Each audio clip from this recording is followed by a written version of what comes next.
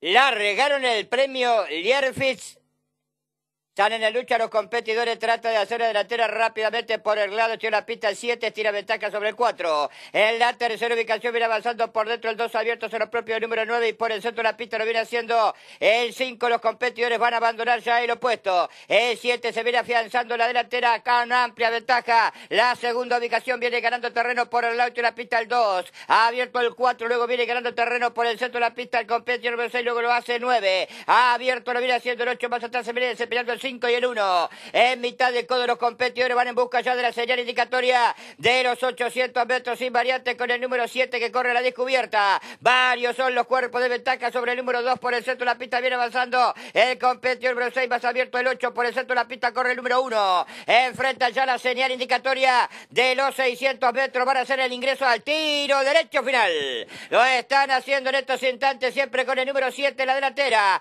En su busca viene ganando terreno por dentro el 2 abierto 9. En la cuarta ubicación vienen ganando el terreno. El 1 apareado este corre el competidor número 8. Enfrenta los últimos 300 metros para el disco. Verba el 7 estacionar y va resueltamente en busca la vanguardia. Por dentro el 2 abierto, el 9 larga carga el 8. Por el centro la pista número 1 descuenta ya los últimos 150 metros de carrera. Va a haber lucha la delantera entre el 2 y el 9. Ha abierto la carga del número 8 descuenta ya los últimos 50 metros de carrera. En lucha cabeza a cabeza el 2, el 8 y el 9. Pocos metros para el disco. La lucha es intensa. Ha abierto el 8 por dentro el 9 y el 2. Y cruzaron el disco.